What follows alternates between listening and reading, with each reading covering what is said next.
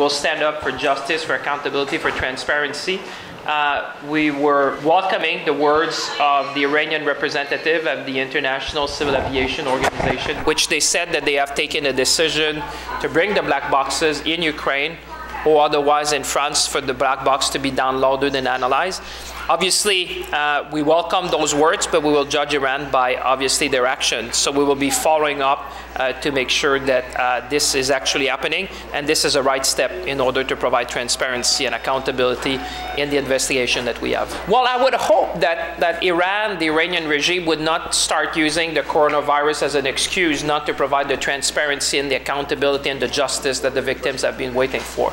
Uh, I appreciate there's coronavirus, but this is an investigation that needs to keep on going. Uh, the work uh, needs to be carried out because the victims of the families that are watching us, uh, they still they have still a lot of questions. The black box will provide elements of response to all these questions, and we want to carry on the work. We are obviously respectful that nations uh, would have to deal with the coronavirus, and we are mindful of that. On the other end, I would hope that this doesn't come as an excuse not to provide the accountability and transparency that the families are hoping for. I take Iran at their words, but I would rather judge their actions once the black boxes are in Europe, that we have our own experts who have been able to analyze and be present.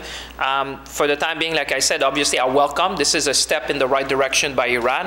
Uh, this is more than 30 days thereafter uh, the incident. Families have been waiting, governments have been waiting, the international community have been saying Iran was was undermining and is undermining the international law. So we said, bring the black boxes to Europe, bring them to a place where we can analyze and download. And obviously, when this is going to be happening, we will have our experts there present so we can better assess whether there was any tampering with the black boxes. I have no reasons to. To, to judge that at this point, but we'll have our experts on the ground who will be able to make that assessment for us.